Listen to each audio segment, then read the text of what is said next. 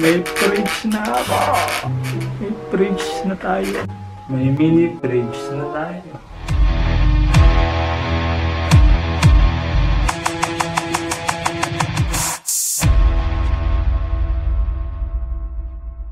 Okay, so welcome back sa ating channel. So by the way, thank you for continuous subscribing. And then, if you're still new in this channel, make sure you try to subscribe and always hit the notification bell to keep you updated in my upcoming videos. And then, of course, at this time, wala tayong maisip na content.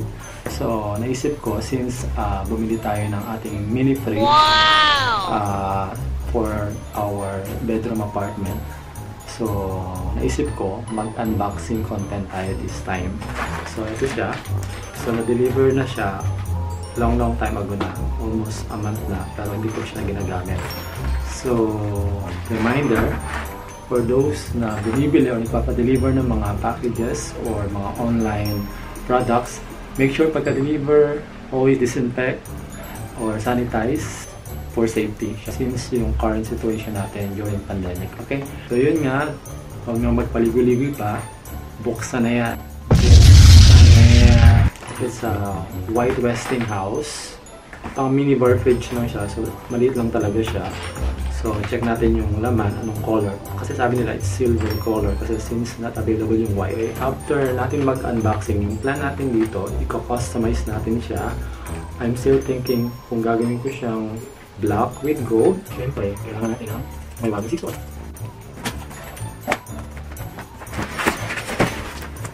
So magbubukas tayo, hindi iPhone 12. Mini fridge. Lang. Yun, nahanda. Nahanda.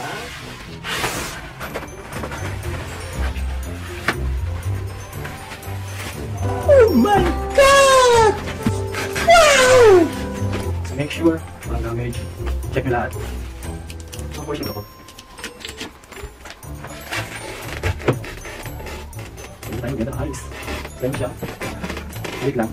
Mini freezer. Yan yung mga drinks. And mga pwedeng ilagay for cooling, chocolates, juice, ay mga alak. Pamay na lang po.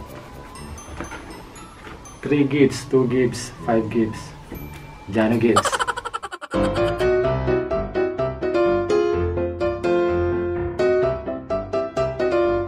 Siyempre, kailangan muna natin linisin yung loob.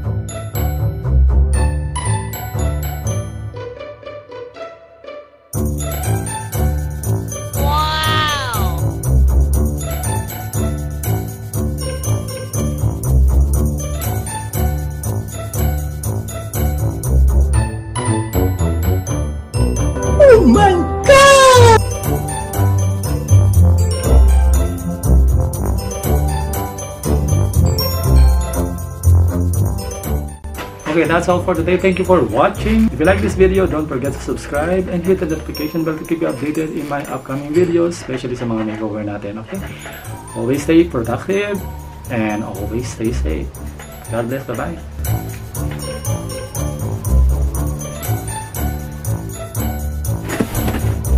Bye.